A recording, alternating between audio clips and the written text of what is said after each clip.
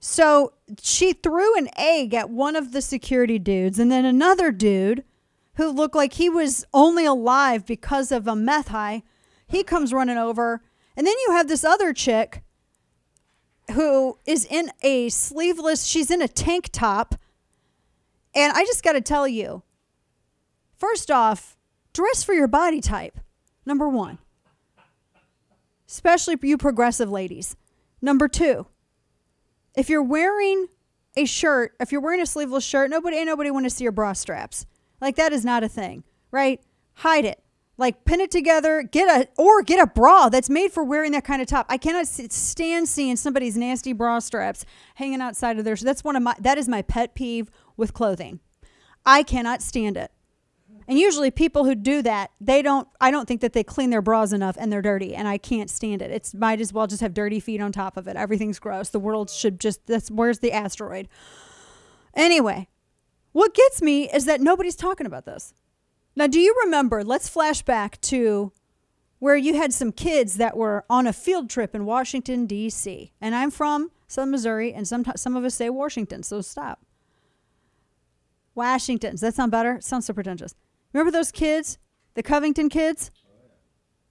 And wh- they were they were on a field trip and this is how it always works. Whenever you got classrooms that go on field trips, where do they always get picked up and dropped off? Right there, usually by the Lincoln Memorial. And the reason it's by the Lincoln Memorial is because there's a roundabout. There's like a couple roundabouts there, and they they're wide enough to where you can have a bus pull over without obstructing traffic, and they can drop off tourists, pick up tourists. I mean, it's designed to accommodate this. So that's why all the pickup and drop offs usually happen there. It's why it's always crowded and crazy.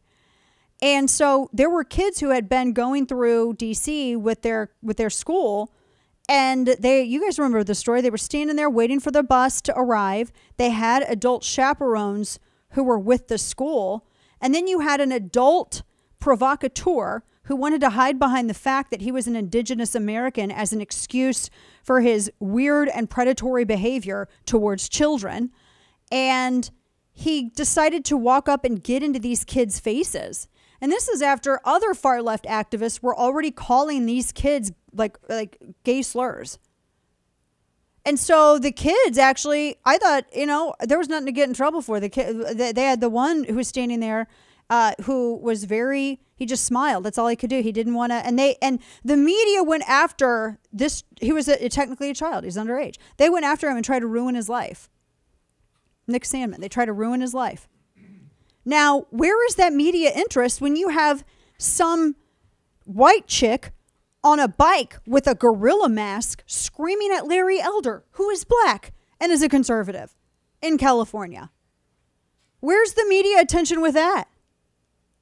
I was told that these things were very important. Hell, CNN sent a sat truck, a satellite truck, to do a news story outside of an elderly woman's home in Florida because she was an administrator on a pro Trump Facebook group page.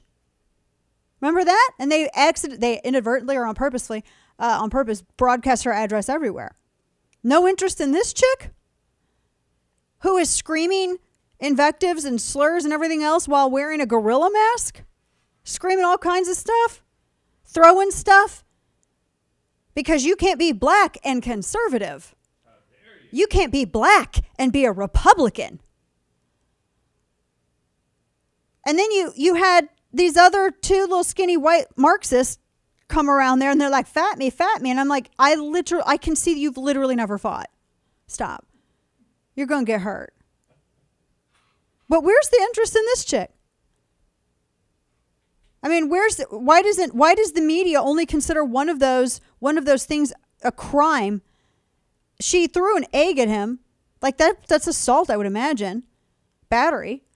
Uh, she threw an egg at him. Why does the media only consider one of these things a, a criminal act worth reporting? Well, she punched the security guy right Oh yeah, she did assault. Yeah, she assaulted the security guy. Why? Where's the? I thought that this stuff. Where's the media concern about this? I thought it was a crime worth reporting, right? Apparently, no. This is amazing to me. And that's not. I mean, there's so many instances of this. It's I, mean, there's there's tons of instances of this. So no, Nothing on. Hmm. Unbelievable. No, it was like he straight up walked into Deliverance too.